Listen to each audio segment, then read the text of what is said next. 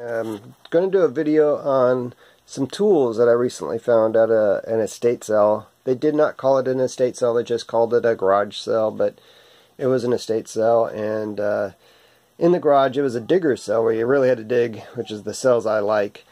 And in a box, there was uh, items wrapped up in old newspaper, and I was unwrapping those items. A lot of them were old woodworking tools.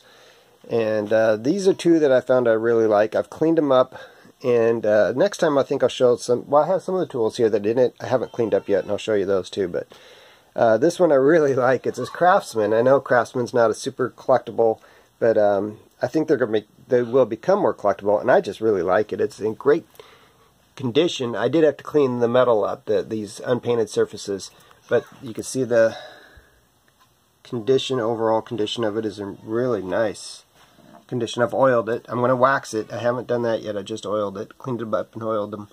But it has the Craftsman decal, which is really cool. That's the best part to me. I just don't see that. The Craftsman decals like that. I just don't see those. And has a corrugated sole on it. It's uh, number 50, so it's similar to the Stanley number 5. Great condition. The other one's a Try-Square, Stanley Try-Square. You see Try-Squares, old vintage ones with the brass and rosewood, but I don't see them with the uh, Stanley decals very often. And so that's another one that I like, and I just did a quick cleaning. You can see it still has a lot of...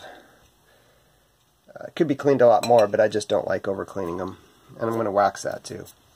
Okay, and uh, hold on here, and we'll take a